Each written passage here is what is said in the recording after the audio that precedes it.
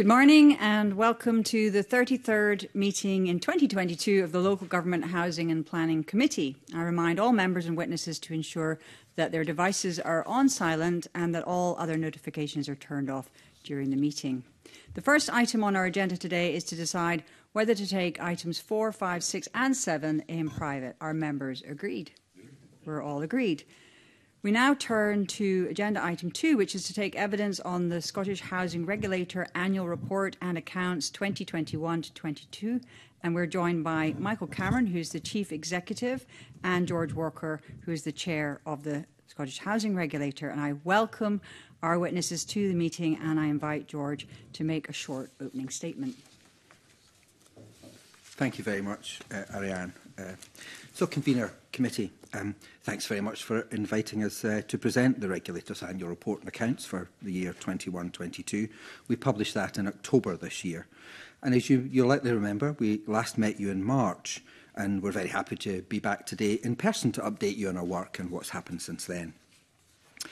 As, by way of reminder, back in March I updated you on our priorities, including these things. A strong focus on the quality and safety of tenants' homes, paramount for gypsy travellers to have sites that meet the standards determined by the Scottish Government.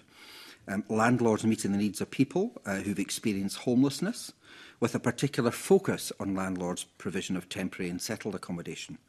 Affordability and value for money, being mindful of the huge cost pressures that tenants and landlords are experiencing right now. And for RSLs, uh, under, to be underpinned by effective governance and financial health. There's a but. And that butters that much has changed since we last saw you in March, uh, as I don't, don't think I really need to tell you. We're facing the most um, challenging economic context in a generation, and there's no doubt that uh, I should say that tenants and social landlords are facing some of the most difficult financial challenges they've ever had to meet. And so increases in the cost of living certainly means that tenants are finding it more difficult to afford the cost of renting and running a home.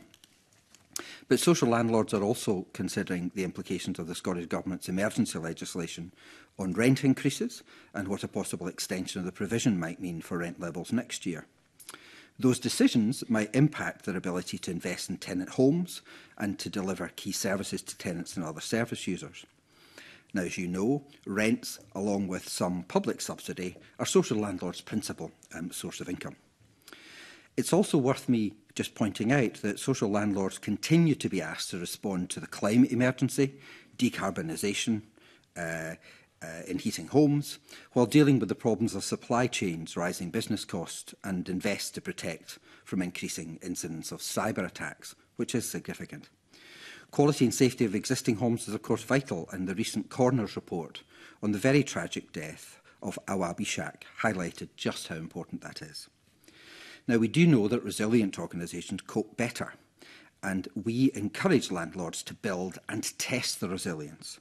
We continue to keep focus on our priorities while trying to remain agile and responsive to the volatile and uncertain operating environment that we all know we're in.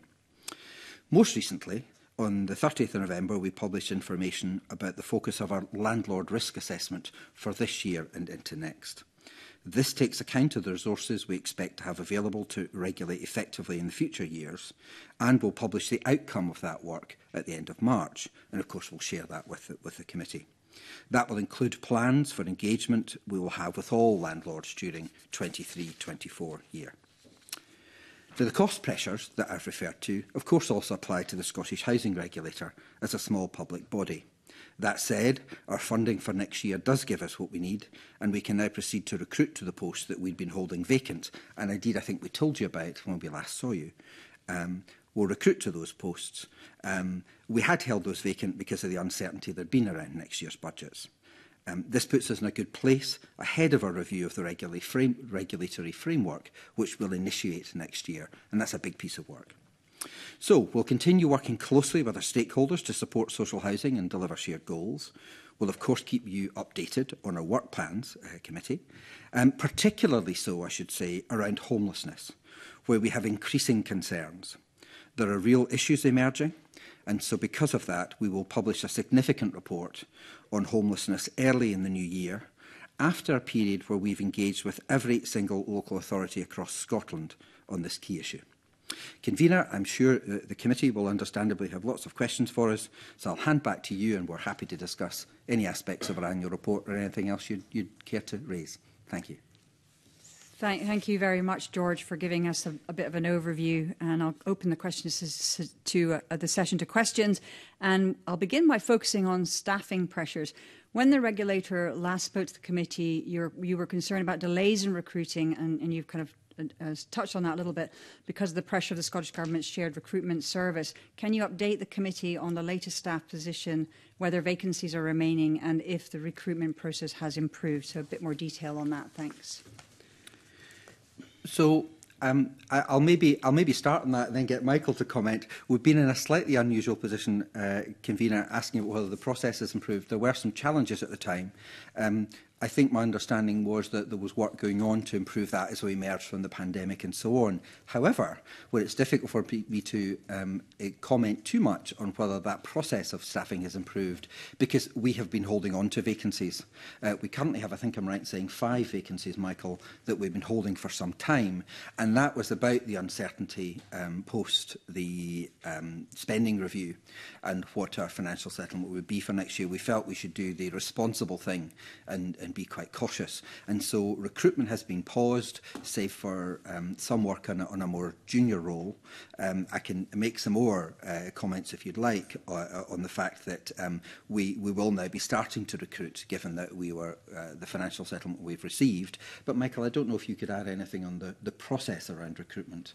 Um, Yeah, certainly just uh, uh, to add to what George has said, and, and, and we have had very limited um, exposure to the new improved recruitment process that the Scottish Government has put in place because we have been holding those post-vacant. But where we have engaged um, with Scottish Government human resources around recruitment, we have noticed that there have been improvements um, in that process, um, that the, the new system, uh, while, while uh, it's always challenging to, to, to um, uh, work with uh, something new, uh, particularly in the IT front.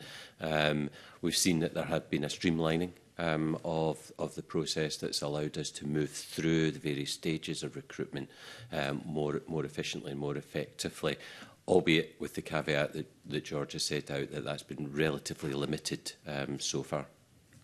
Okay, that's helpful. It sounds like good news we're we're keen for streamlining. I think it's a, and getting more efficient. So that that's really helpful. I'd like to move on to the budget and the, and uh, somewhat good news in in that respect. So your annual report notes that. 2022 to 23 budget in, increased, but is still likely to see pressures on budgets caused by rising inflation, increased employer costs, and centrally negotiated pay rises. Uh, therefore, firstly, how does your likely expenditure for 2023 2 to 23 compared to the budget? Have you experienced uh, any particular pressures? And secondly, will the recently announced budget for 23-24 be sufficient for you to be an effective regulator? If I start first then on the current year, Um, certainly, we are seeing cost pressures. It's probably worth pointing out, though, as a, as a regulator, we're really a people business ultimately. And so, um, depending on exactly how you count it, about 80, 80 to 85% of our budget is spent on people, both staff costs and, and indeed board costs. Um, and so, because of that, in fact, we were in the, the I suppose, enviable enviable position of being able to hand back some budget to Scottish Government this year. And the reason for that was because we were holding on to the vacancies that we've just discussed. Our spend beyond people is relatively modest. And so, although, yes, we're seeing cost pressures um, with only about 15 to 20% of our spend on, on non-staff issues. Uh, this year, we, we will end the year in, a, in an okay position, having handed back uh, due to the vacancies. Uh, Um, if I come onto the budget, um, you'll likely be aware that uh, our funding for next year uh, for the Scottish, Scottish Housing Regulator was set at £6 million. Um, that comprises, in round numbers, £5.3 million for revenue, um, 200,000 in non-cash, and about 400,000 of capital uh, that we requested. That's up from a total of 5.3 million in the current year.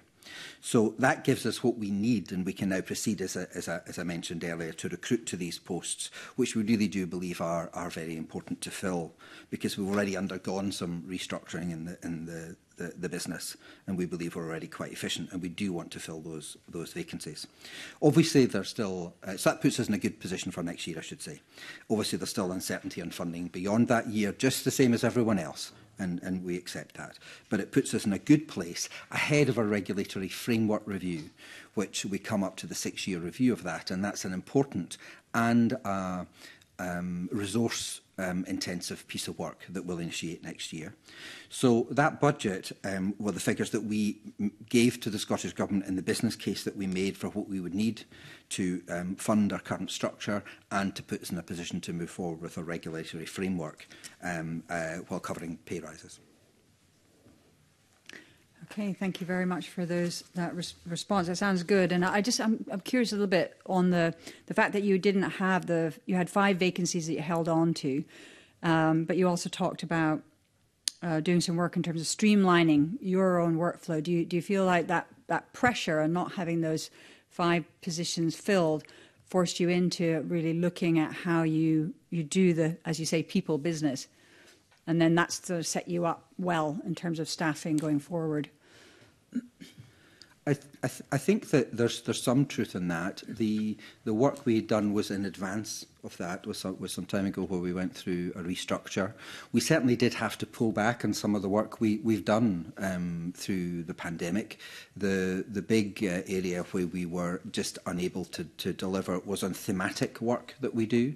Although we have started to pick that up again, so there was a gap in that. We just weren't. We were having to focus on other things as we touched on uh, through the pandemic. Um, and so that meant a resource diversion uh, from that. So certainly there were things we would have liked to have done that we didn't. However, in terms of how that position does, I'll, I'll maybe hand to Michael. He maybe have some more detailed comments on the operational aspect. Yeah, I think, I think through the course of this year, with us holding five posts vacant, um, we have had to reprioritise a number of our activities. George has already mentioned that we uh, had hoped to um, restart our programme of thematic work this year. Um, that was delayed. We have, we've started to do a wee bit around that. Um, although it's not a full programme that we've initiated um, during this financial year. But now that we know the position next year, um, as George says, we, we'll, we'll um, be taking forward a review of the regulatory framework, which we're obliged to do every five years. Um, and within that, we will look at how we can re-establish some of those areas of work that we've had to put on hold because um, of the vacancy position that we were carrying. Okay, thanks very much for that.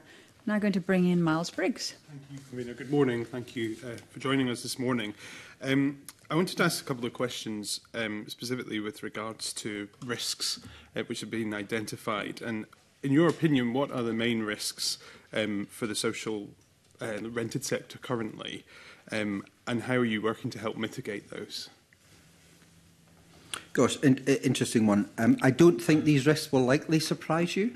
Um, let me give you a little background, then I'll come on to our risk assessment work and tell you a little bit about that, which just started for the coming year and that will set the approach we will take with landlords um, in the new year. So, key risks.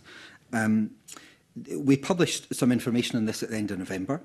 Uh, in summary, I suppose the strategic context and landscape for landlords is, is, is volatile and unpredictable as we know.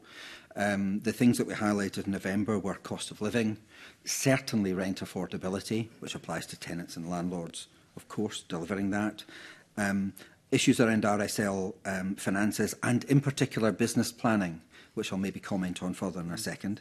Uh, decarbonisation, provision of uh, uh provision uh, and the quality of temporary accommodation uh, for homeless people, and that is an issue, an emerging one, um, and issues, of course, around tenant and resident safety. Um, it's fair to say we, we're certainly seeing landlords dealing with increasing interest rates, um, high inflation, cost of energy, all, all these things that, that others uh, are, are dealing with, as well as their obligations around net zero and rent affordability. And of course, the Scottish Government will announce its um, rent policy uh, in mid-January uh, next year. But tenants too are facing significant challenges. And let me come to how we approach that. Um, in a risk assessment this year, we will be taking all of those challenges into account. We'll take into account aspects of the economic environment and the Scottish Government's rent and evictions policy, of course, as you'd expect. And uh, by way of example, we'll pay very close attention to affordability um, for tenants, planned rent increases and levels of arrears. How do we go about doing that? well. Again, in that piece of work in November, we published a summary of the risks that we would focus on next year when all of the data and all of the information which has already flowed into the regulator, what will we focus on? Let me quickly, I, I won't speak about each of these, but I'll quickly give you the list. So homelessness, performance in delivering services, um, stock quality, tenant and resident safety is a significant one. Uh, development, and those RSLs are developing new homes, um, financial strength of RSLs, and, and good governance of RSLs. And how do we go about mitigating those things to you know, answer that part of the question directly, Mr Briggs, and that is, first, I suppose, I say three things. Firstly, by setting out what it is we will focus on in our risk assessment, we find that, of course, draws landlords' attention to those areas. They know what we're going to focus on, therefore they're paying attention to those, and that's part of the mitigation uh, strategy. But crucially within that, of course, is ensuring that, uh, I think, two key things. One, that RSLs are well run and they have really good governance in place. I don't don't think there's ever been a time when that good governance really matters so that they are able to make the best decisions they can. And the second thing I'll highlight is around their financial health. Again, um, much of the mitigation is around RSLs putting themselves in a position where they can be as financially robust as they possibly can. And part of that has, be, has been and will be us encouraging them, them to look forward and revisit their business plans, because of course some business plans will be um, knocked off course by the pandemic, so that they can establish themselves as being uh, in the best place um, for the for the future. And finally, if you'll indulge me, I'll maybe just comment a, a wee bit on homelessness because that's a that's an important uh, area uh, for us. And if you like, what we will focus on there in order to, to mitigate will be how local authorities deliver services for people who are threatened with or, or indeed are experiencing homelessness. And that includes really understanding the homelessness journey um, and the four steps within that, that homelessness journey. In particular, this year we'll be paying a lot of attention to the increased demand for um, temporary accommodation and permanent accommodation um, that uh, local authorities and RSLs um, provide. So I hope that gives you a little bit of a flavour mm -hmm. of the risks we see, the risks we flag to landlords, and some of the approaches we'll take to help, if you like, guide landlords towards the best mitigation they can. Yep. No, that's very helpful. Thank you. And I think especially what you've outlined with regards to homelessness and temporary accommodation. I raise it regularly in this committee with regards to the situation here in my own area here in Edinburgh. Um, so I look forward to, to seeing that report in the new year. Um, at the previous committee when you attended, we, we heard that some of the work um, you were looking towards was around resilience work. Um, and you've obviously said we are living in a changed environment since you were last um, at committee. Um, but what sort of conversations have taken place around business planning, given the cost of construction, given the rent controls, most housing associations are reporting they're re drawing up their future build plans because of income projections now. Um, is there resilience going on around that, and, and can you outline what that's that's looking like? Yeah, I'm happy to I'm happy to pick up on that. And and over the last couple of years, we've been highlighting the importance of landlords enhancing and safeguarding their organisational resilience and indeed the resilience of the communities uh, that they serve. And that's a that's an important um, focus for, for most um, um, social landlords.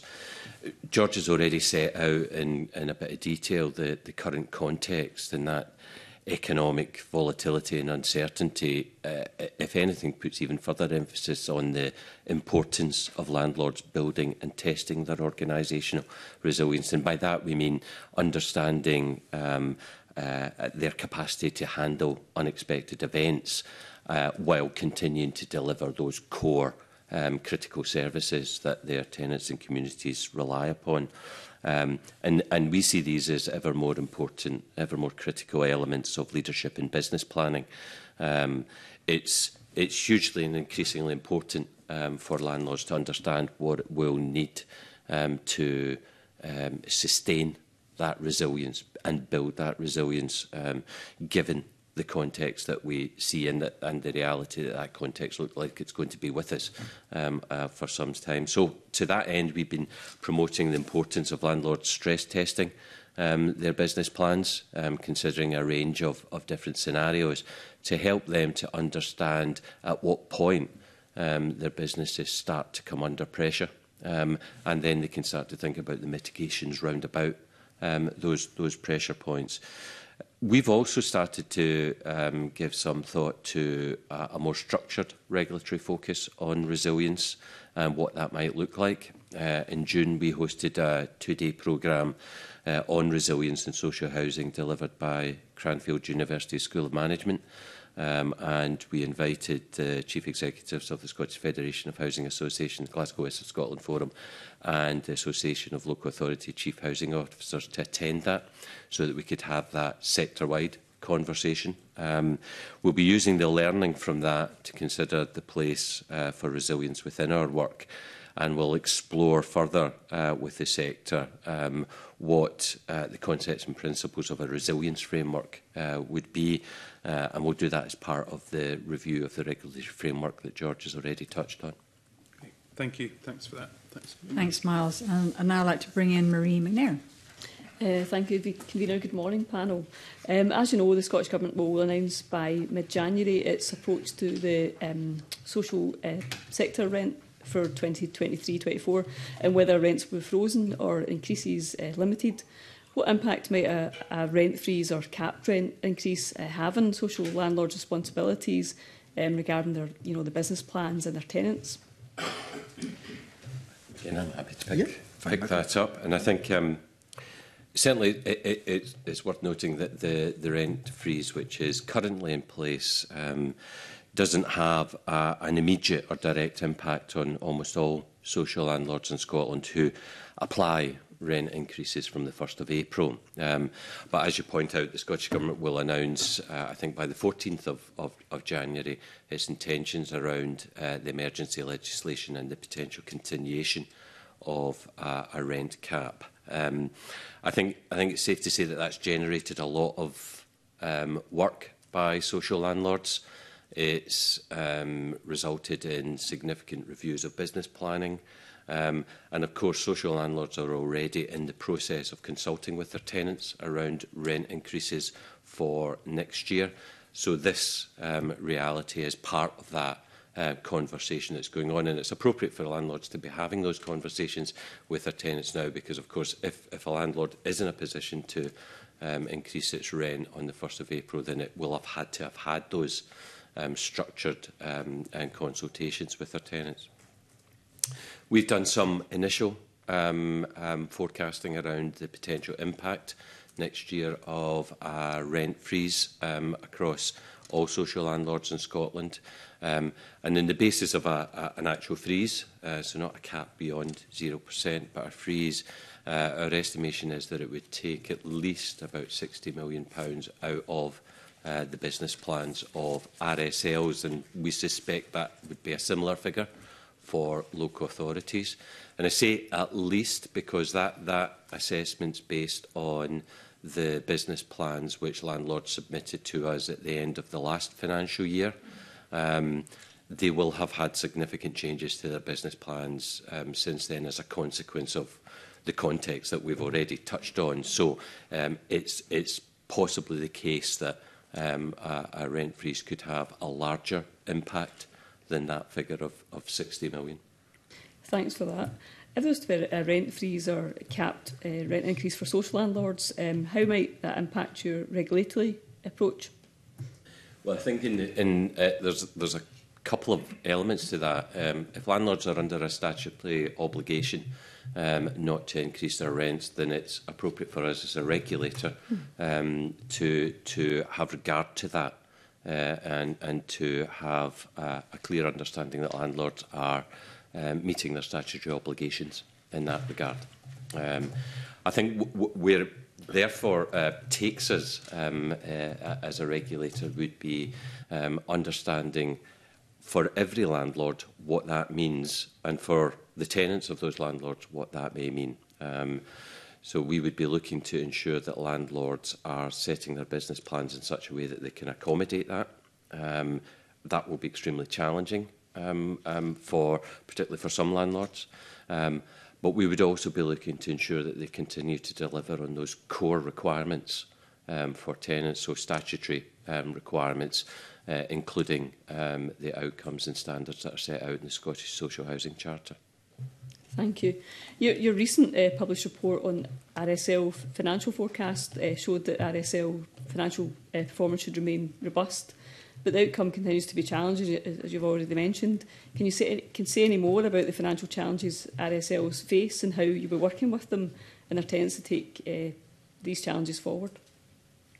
Sure. Why, why don't I pick that one up, actually? That's been quite a significant piece of work recently. Um, as you said, we, we just published quite a, a significant report, and that, that is the, the five-year financial projection forward from uh, the, the end of the, of the current, um, sorry, the end of the, uh, March uh, this year that sets that out. And uh, so that data all came into us in, in April uh, this year, um, and it looks forward to 2027 to give you a, a, a sense of that, so the next five years. What um, did that show as well? I guess several key factors that are, that are affecting business plans. Certainly, the Scottish Government intervention and rate setting is, is in mind. So there's, there's, there's no doubt about that. The increasing uh, requirements to address the quality uh, of homes and uh, and on energy efficiency and decarbonisation is is right there and, and live, um, along with the ongoing uncertainty and the lasting impact of Brexit and COVID 19. And as we highlighted those things, it means that the current context for RSLs might mean that they will have made significant changes to those plans since they submitted all that data to us back in April, because we, we know what's gone on. The committee, I know, is, is, very, is very tapped into that. To give you some of the highlights, though, of that, so it's just reading it in that context that the highlights I'm about to give you are, are, are based on data from April. To give you those highlights, you're right. Um, uh, we did say, I think the language we used was that um, RSL um, finances uh, looked robust uh, and we hope that will continue. Um, what does that mean? Well, it means that um, there's most RSLs are continuing to show a modest surplus of rents versus expenditure. They expect turnover to increase by a little shy of half a percent over operating costs over the five-year period. Uh, they expect to see their asset base grow. Um, there's a but, and, and certainly uh, one of the things that highlighted is currently a significant but reducing cash reserves give you an idea of how that looks, um, at the end of uh, March uh, this March, they had, they had cash reserves of roughly 119 million pounds. So it's like a significant amount of money, but they will drop to closer to 500 million pounds by the end of the five-year period. And so that, that of course means that although interest rate cover remains healthy, it is declining uh, and uh, so that's worth paying attention to. Um, what the report also showed is that landlords expect rent arrears to peak in 22-23, so that was an interesting finding.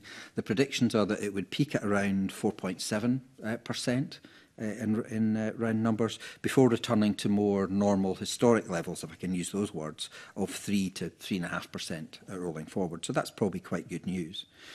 What it also showed is that landlords um, will continue to spend significant amounts of money investing in, in their tenants' homes. About 1.7 billion over the five-year period, so a significant amount of money. Um, and that works out at about £5,000 um, per property, roughly. Um, and finally, um, the expectation is that 30,000 new homes would be built by landlords. That's up 1,000 from the, the previous uh, cycle. Um, and that, of course, is supported by funding from the Scottish Government uh, of four, uh, roughly four and a half billion, but also private finance. So bearing in mind, I guess, that these projections were done a wee while ago now and things might have changed. Nevertheless, we think it puts landlords in a, in a pretty um, strong position. The other, I suppose, um, fly that's in our ointment, uh, if I can use that term uh, right now, is increasing interest rates and landlords are, are, are having to deal with that. To give you an idea, every 1% increase in interest rates will take, in our estimation, about 13 million extra cost in debt servicing for landlords each year. So that's not an insignificant um, amount of money. Um, so it's against that context, if you like, that landlords are looking to, to um, deliver, and they're looking to deliver against the building safety requirements, decarbonisation, their stock quality commitments, um, as well as, as continuing to uh, invest in, uh, in new homes.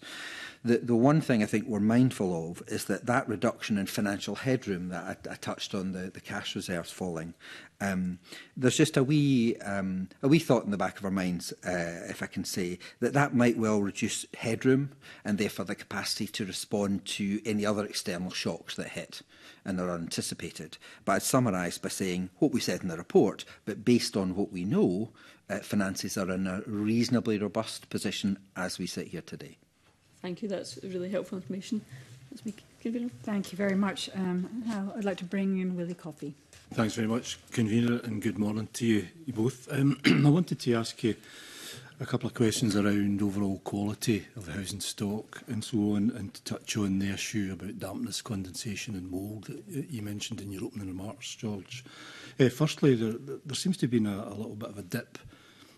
in the numbers of properties that meet the quality housing standard, the SHQS, down from 87% to 85 I wonder, could you give us a little flavour of why you think that is and what the reasons behind that may be?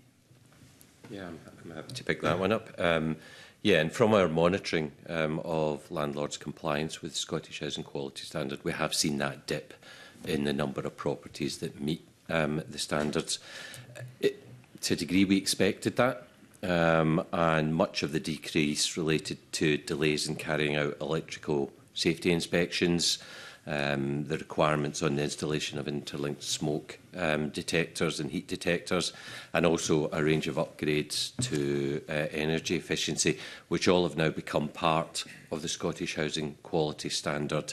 And um, that, that ha has been in part a consequence of some of the delays and challenges that landlords experienced during the pandemic uh, in terms of getting access to tenants' homes, but also in securing the necessary materials and, and, and labour and skills to, um, to undertake the necessary work.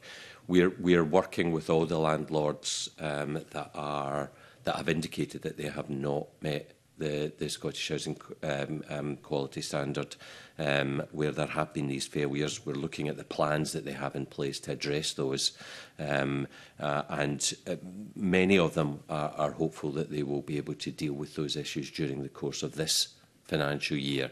Um, and landlords are projecting a 90% compliance with Scottish Housing Quality Standard by the end uh, of this financial year. And as, as, as George has already touched on, we're aware that there's a significant programme of investment of around about £1.7 billion that landlords are anticipating over the, the, the next five years, in part to address some of these, some of these issues. Thanks for that. See the houses that don't meet the standard, are any of them in the category of dampness condensation. Uh, you know, the reasons that they don't meet the housing standard is because of their structural condition in terms of condensation, dampness or mould, or is it all the functional things you were mentioning earlier, Michael, about electrical installations and upgrades and so on? So do any fall into that category? Yeah, it's almost it's almost entirely the, the, the, the issues that we that I've already touched on. Um, it's difficult to quantify the, the incidence of, of dampness mould. It doesn't form a specific element of the Scottish Housing Quality Standard in that way, um, and there aren't any national measurements or indicators of, of reports of damp and mouldness. So it's difficult to kind of put that, that, that, that quantification on that um, challenging issue. Um, so that in itself wouldn't necessarily translate into uh, a failure to achieve the Scottish housing quality standard unless there were some component elements mm-hmm. um, um, that that did deliver that um, that you know inadequate heating systems, for example. Mm-hmm. Um, but that would be how it would be flagged rather than as uh, an issue of damp and moldness. That's something mm-hmm. which we are giving some thought to.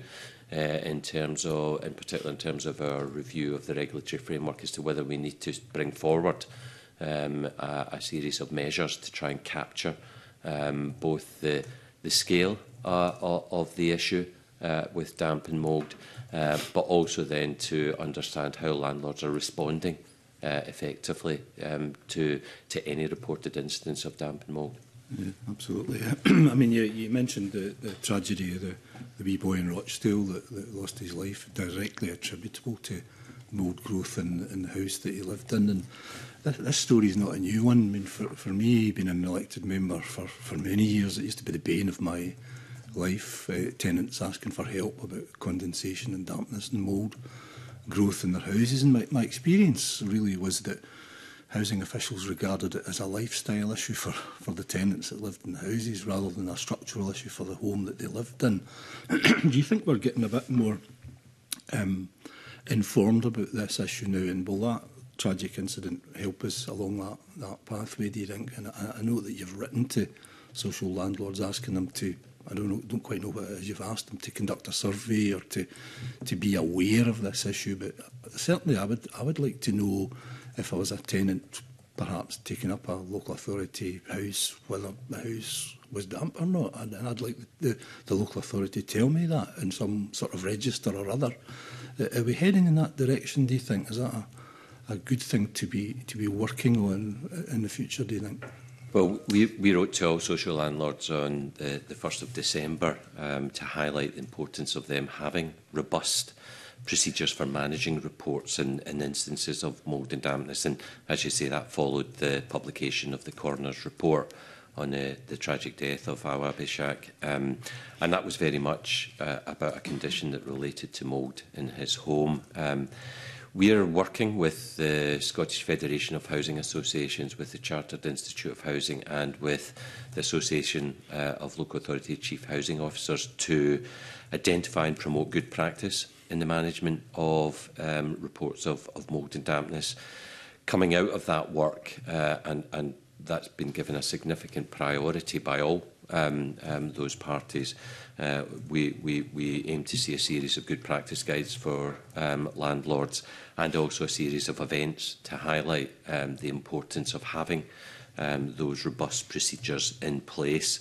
Um, I think um, one of the things which we've already done is, is we've highlighted um, the publication that the English Housing Ombudsman put out um, back in 2020, which is a uh, uh, got a lot of resource there for landlords to help them um, consider best practice. And certainly within that, um, there's a very strong message about um, landlords being responsive and not uh, adopting a position of, of, of blame around um, what's happening within a, a, a tenant's home um, and to consider the, the, the complex interplay of heating, ventilation, structural challenges and how the property is used. All of those elements have to be considered when, when, when a landlord is responding um, to any instance. But, but critically, it's about dealing with the issue, resolving the issue rather than trying to um, um, suggest that there's, there's, there's um, any kind of blame on the part of the, the tenant or their household. Mm -hmm. Do, do you think we'll see uh, ultimately a uh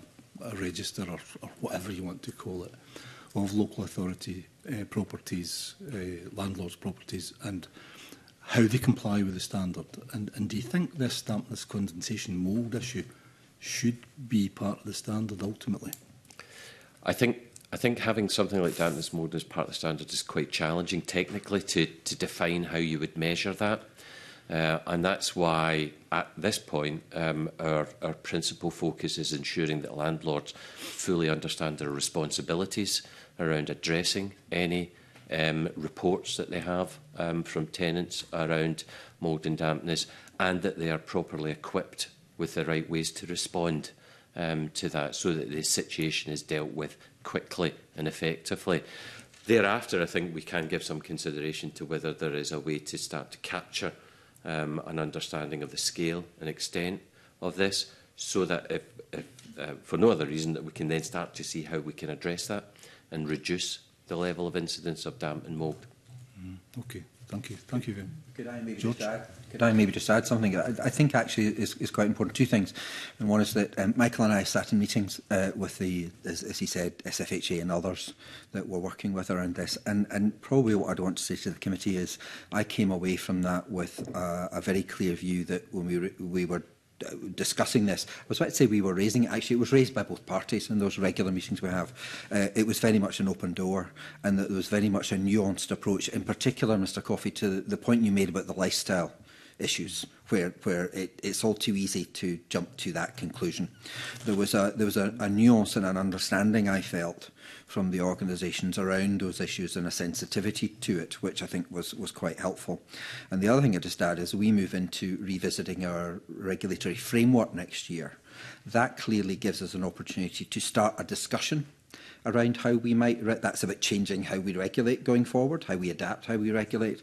And that, of course, puts us in a discussion to bring this important subject into that regulatory framework discussion and consultation. I don't want to prejudge because I don't know at the moment, to be honest, how we'll do that. But I think next year, uh, when we start that work, it gives us an opportunity to think that through and engage with Scottish Government, other stakeholders, and of course landlords around that, that important issue. Mm. Just, just lastly, not, not to labour the point though, but do you not think that tenants do have a right to know that the house they're about to live in is free from dampness, condensation and mould, and for an authority to tell them that it is before they take up a tenancy? I think I think any tenant should be um, able to uh, be clear that the house that they are taking is is fit to live in. Um, right. leave it uh, at that. thank, thanks very much for that. Thank you. Thank, thank you, Willie. And I think that's been a really important part of the conversation this morning. And, and I think also just, George, with your identifying the potential for revisiting the regulatory framework and potentially seeing where we could bring, bring that into, um, you know, the, so that we can be monitoring the dampness and mold because it certainly is a massive issue in Scotland and uh, and obviously has a knock-on effect in terms of people's health and then therefore our health service. So we can tackle this. I think it's a really important one to to um, do. And I, having recently worked on a situ casework in, in my region where it got pushed into the lifestyle aspect and it felt very much like the landlords were you know digging their heels in there and very disheartening to hear of a family that was really struggling with health issues because of the, the housing situation so i think it's a really important one that we need to pick up and, and work on together so i'll be looking forward to hearing how you take that forward with this opportunity um, i'm now going to bring in mark griffin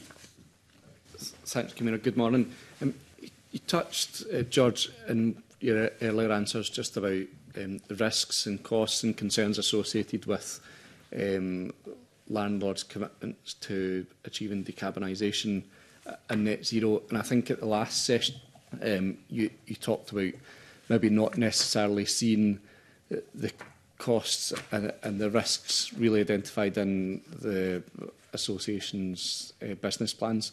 I just wondered if that's something that has changed, if those business plans are starting to recognise um, more and more the, the costs that will um, the funding that will have to be identified and, and set aside for that, and, and if not, how the regulator is um, supporting landlords to, to go down that path to, to pick up on that, George. Um, I think there remain a number of challenges um, for social landlords around putting in place a clear and funded programme of work to achieve um, energy efficiency of homes and the decarbonisation of heating in homes. Um, the, first, the first one of those challenges is uncertainty. Um, the Scottish Government is now reviewing the energy efficiency standards in social housing um, and it's established a working group to do that and we're, we're part of that working group.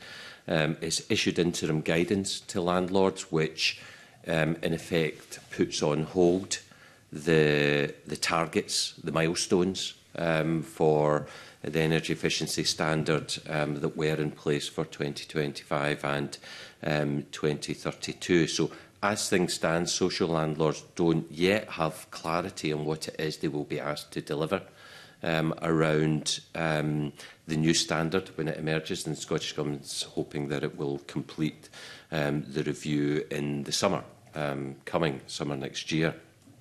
Um, as a consequence of that, we've paused our collection of um, data around the energy efficiency standard as it was um, and we'll revisit that um, as part of the regulatory framework review in terms of any ensuring that we have appropriate um, performance indicators for landlords in, in that regard that reflects the outcome of the Scottish Government's um, review. In the meantime, um, we're not you know, we're not stepping away from this important issue, but in the meantime, what we're doing is we're focusing on the importance of the quality of landlords' housing condition information and around the effectiveness of their asset management strategies. Um, I think arguably the biggest challenge for landlords, and you, you've touched on that your, yourself, is um, the funding um, of the investment that is required and will be required. And until we get clarity on what landlords are expected to deliver, it's difficult to get a precise quantum of that investment. Um, and we've seen a range of hmm. estimations around what will be required, anything from about 1.5 billion up to about 6, 7 billion are, are figures that have been um, um, spoken about. Um, and as George says, we know that social landlords um, have a significant investment programme over the next five years of 1.7 billion uh, into existing homes. Um, but that's principally for investment other than on energy efficiency and decarbonisation.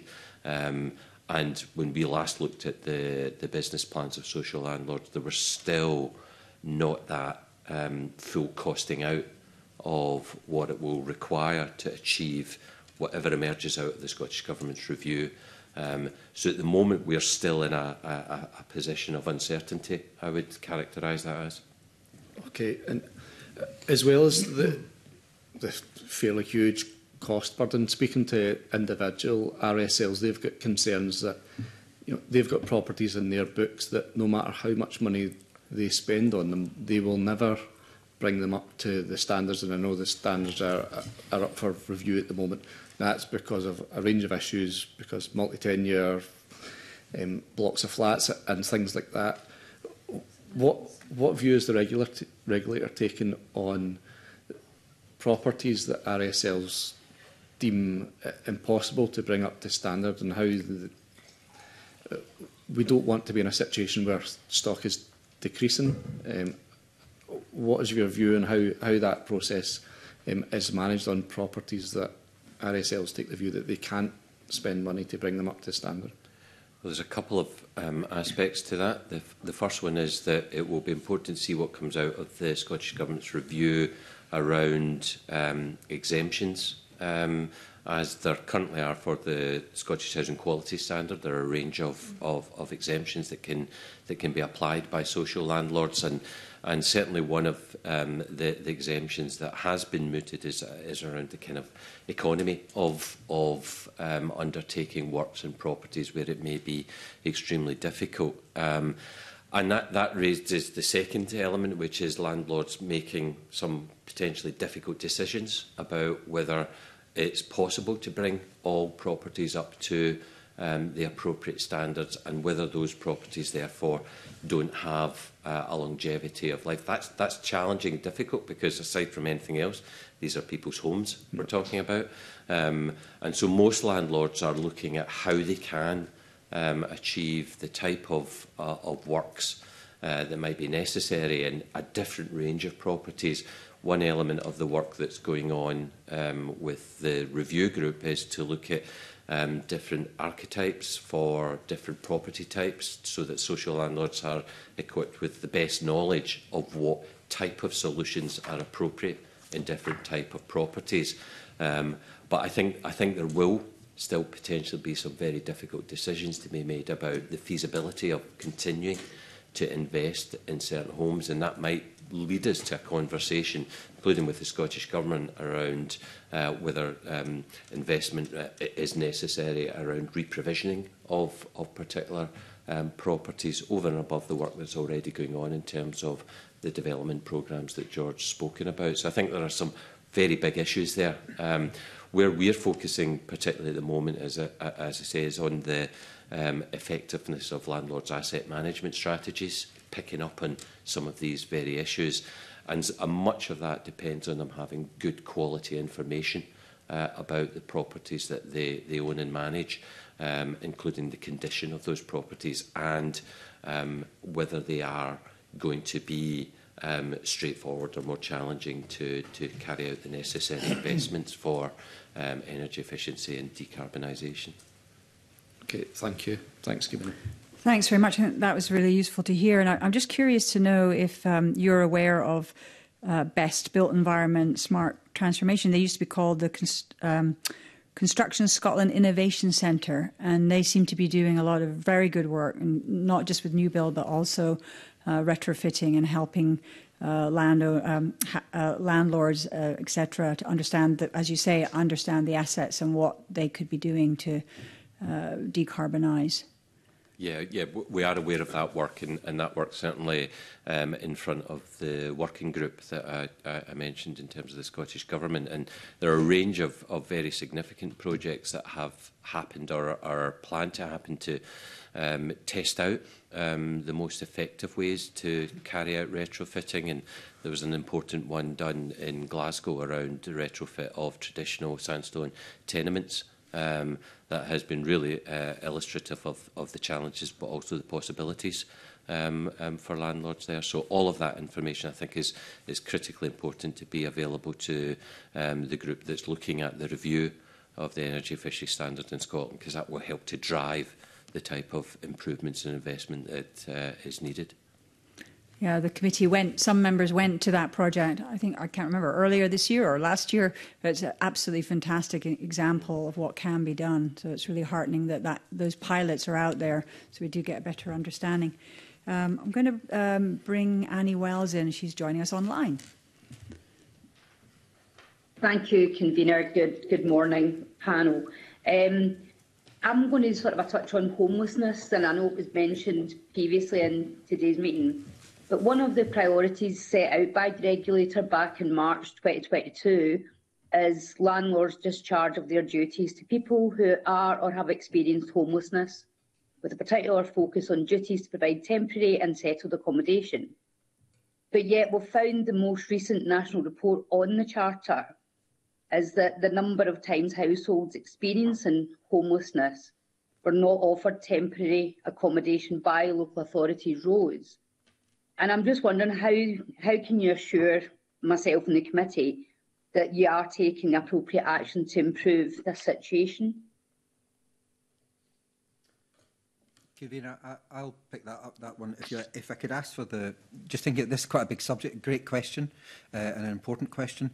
If the, uh, the Convener, if you be willing to indulge me a little bit, I'll probably give a slightly long answer to this because th there's some complexities. I know the committee under understands that, but I'll, I'll maybe take you through kind of systematically some of the things around homelessness, if that would be okay. Yes, but I just wanted welcome. to flag that because there'll, there'll, be a little bit of detail if, if you want.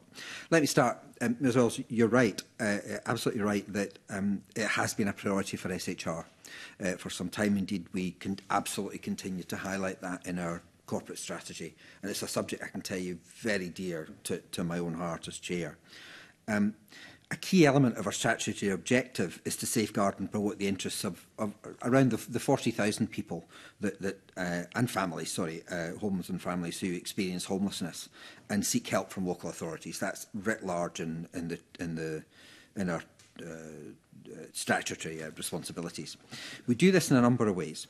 Um, we monitor, assess and report against the range of duties and, and obligations that are placed on local authorities by legislation, as, as you might expect, and through the statutory guidance that, that would be uh, excuse me, would be issued. An example of that, of course, would be when local authorities, uh, the other requirement of local authorities to provide temporary accommodation to those who need it. And I'll come back to that subject of temporary accommodation in a minute. And of course the relevant standards in the Scottish Housing Charter that you rightly referenced. There's a, there's, there's a good number of them. Um, that starts with an annual risk assessment if you like, and it's been part of the annual risk assessment that we have implemented this year and the one that we're doing now to implement um, next year. Um, what do we focus on there? Well, we focus on the four key parts, if you like, of the homelessness journey. And what I mean by that is we assess the access to service, um, we assess the, uh, we look at the assessment of application, we look at the provision of temporary accommodation, and then we look at the outcomes for uh, households uh, in that. And the annual risk assessment, if you like, informs uh, how we approach uh, all of this. To give you a flavour of where we are right now, we're engaging with more than half of local authorities across Scotland um, on at least one of these four stages that I've highlighted. Um, right now, we're engaging with three local authorities on all four stages, and they are East Lothian, Fife, and Glasgow.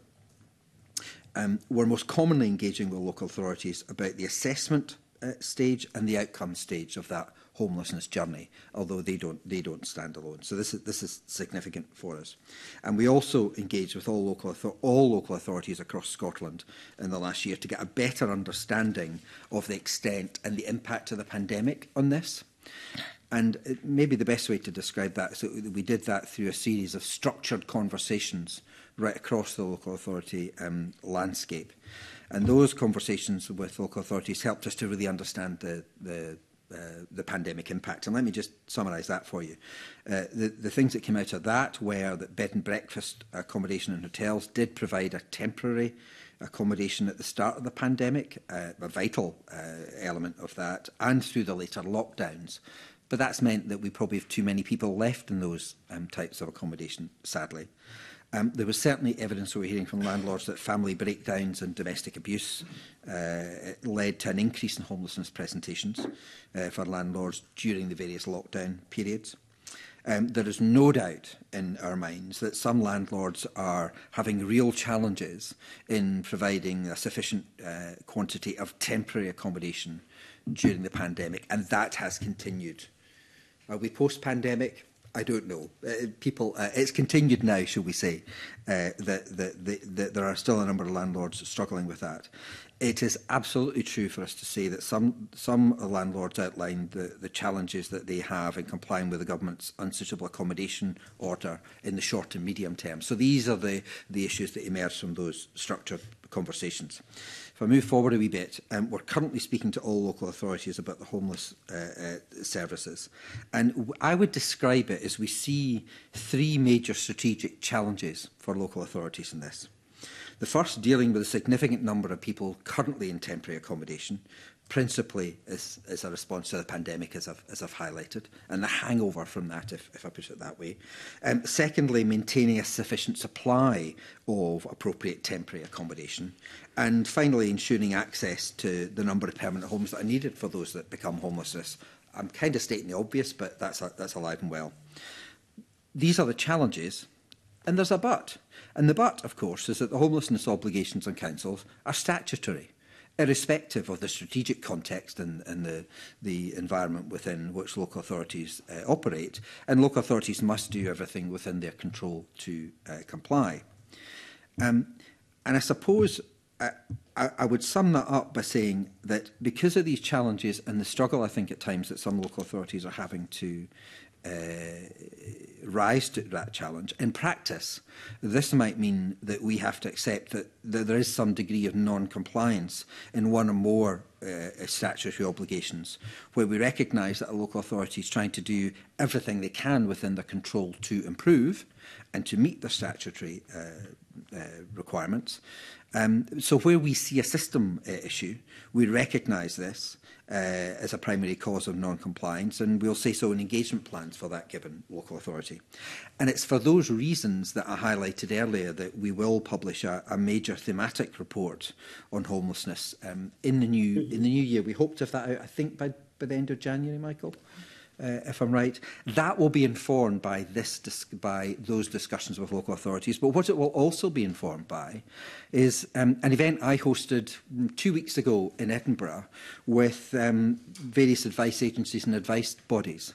Um, and that was sobering, actually, because I sat in front of them with a group of colleagues from SHR to hear from the advice agencies saying that they've never seen it as bad in terms of the yeah. Mm. challenges of temporary accommodation, access to temporary accommodation.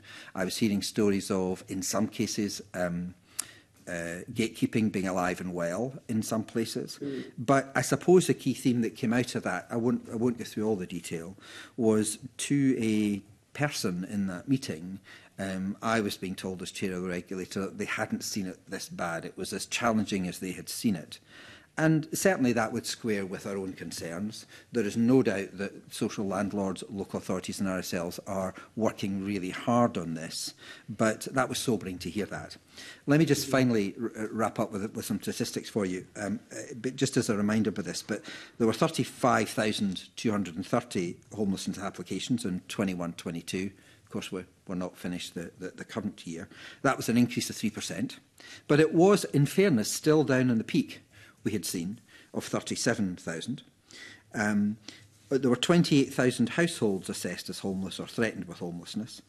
Um, and there were a, total of 26,000 open homelessness cases at the end of March last year. But let me just end on touching on um, the temporary accommodation issue, because that's quite significant um, there currently, uh, or there were, sorry, 13,945 households in temporary accommodation at the end of March. That's a 4% increase um, on the year before. Uh, and more on, on 2020. What troubles me is that there's 8,635 children in temporary accommodation, mm -hmm. and some of those will be sitting in hotels or, or bed and breakfast, as I, as I commented on earlier, as being one of the consequences from the pandemic. More worryingly for us as a regulator is that the average time spent in temp accommodation has been going up if you look at that in totality, if you look back, is is uh, not so long ago, but in, in 17, 18, the average time in temporary accommodation was 175 days. I won't bore you with every single year, but by the time we get to 21, 22, that's up to 207 days, um, and that's a lot of days. Um, and the, the most significant times in temporary accommodation were in Edinburgh, where it increased to 449 days and it did mean that 449 days, and sterling, where it's up to 323 days in the last year. So these are long time, uh, especially for, for, for families to, to be sitting that. So you can see where that will be a significant part of our focus as we move forward and, and why we will publish our report in the new year, because we, we are hearing from uh, some social landlords that, that they are struggling to meet their, their obligations. I, I could give more, and, and you might require more and, and follow-up questions, but I'll, I'll pause there um, to, to give you a sense of, of, of the issue. That is why it has been, that is why it will remain um, an important part of our uh, risk assessment. As I've said, it's part of a risk assessment right now for the coming year, during which we'll assess which landlords we engage with and how and on what parts of the journey. Um, Uh, so I'll, I'll, pause there to see if, if that answers your questions or there's anything else I can help with. Michael, do you have anything that I've missed that you'd like to add? Nothing to add. No, no. no thank, thank you, Mr Walker. That was very comprehensive. Thank you, convener. Yeah, that was actually very helpful and, and, and very much worth going into the detail. And uh, Miles would like to come in and supplement. Yeah, just briefly, in, in terms of that line of questioning, um, Shelter Scotland have called on the government to declare a housing emergency, and especially here in Edinburgh, that's something I've been calling on the government to do. You've outlined, um, you know, what is an unacceptable situation now in Edinburgh. Do you think that's what we need to see, and why is that not currently taking place when we're talking about these numbers, where they are, and you know, temporary accommodation? When you look at some of the options available to councils, these are condemned buildings sometimes, former guest houses, which aren't really suitable for families to be living in.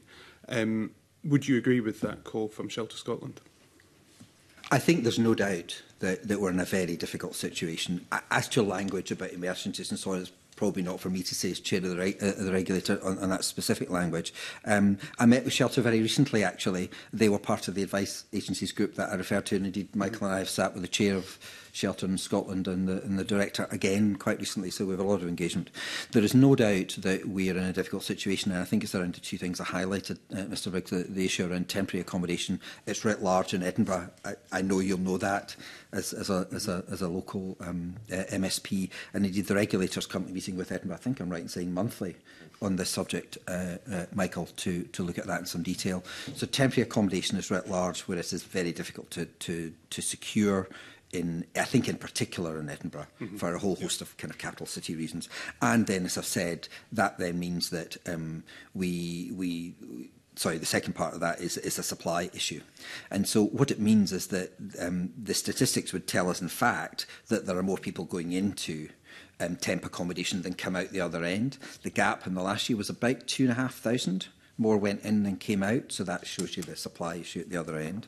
You might add to that, at the moment, we're not seeing much uh, or any um, impact yet of the Ukraine situation, because we know what's happened there. You know, people hosting folk from Ukraine and, and the cruise ships that are, I, I guess, a very welcome addition to, to give people. But um, I suppose it certainly, as chair of the regulator, I would worry that um, Uh, as those um, very needy people uh, from Ukraine if they start to exit host families and cruise ships and so on? Could that add to the demand?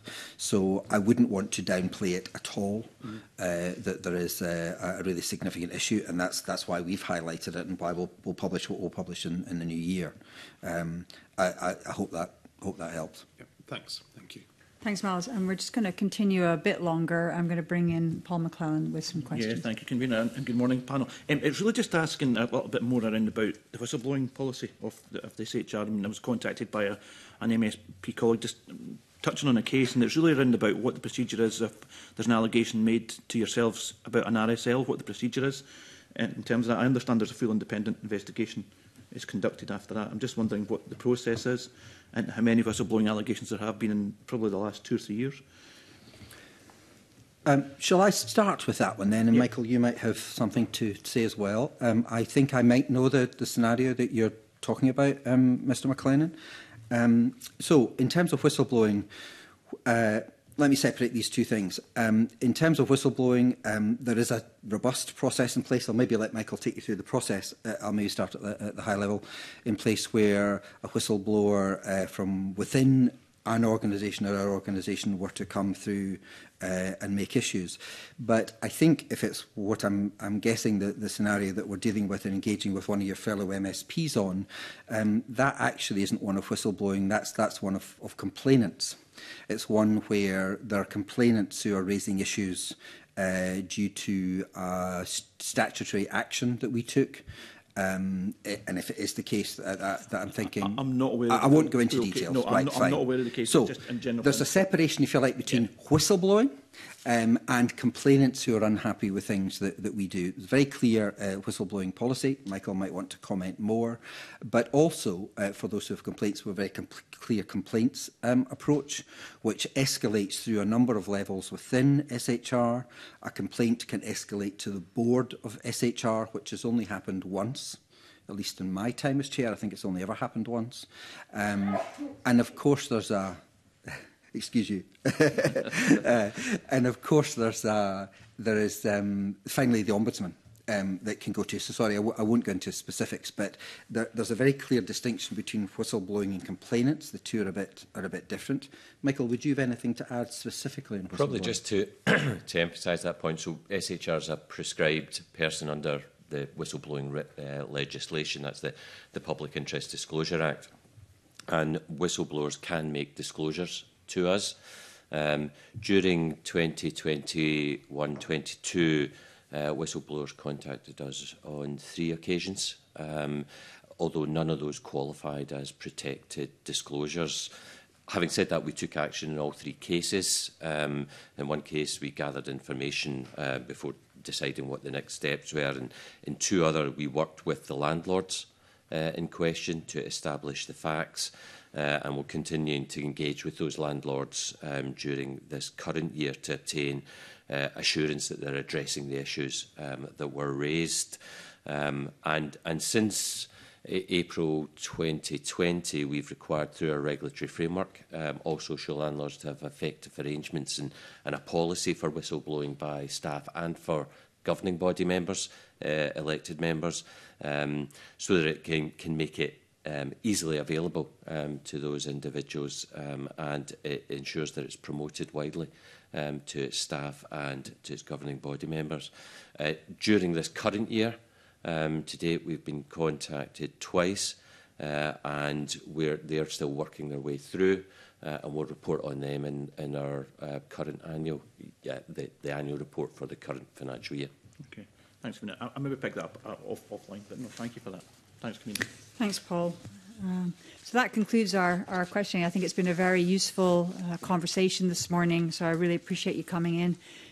to, to give evidence and I now suspend the meeting briefly while our witnesses leave the room.